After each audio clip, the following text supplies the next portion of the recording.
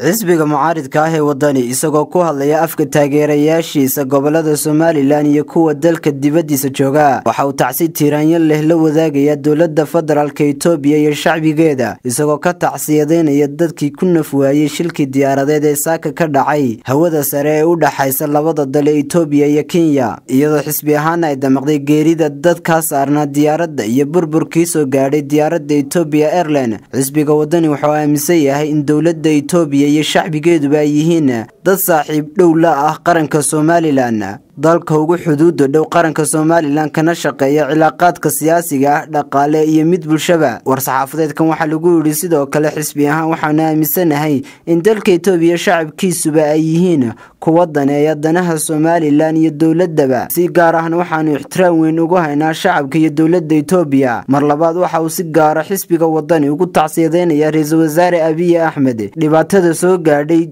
dowladda federaalk itoobiya. Ugu dambeyn waxa uu xisbiga wadani ugu baaqaya xukuumadda somalilan inay hubiso in diyaaradaas ay saarnaayeen dad reer somalilan. Liibaan cismaan cali telefishinka real hargeysa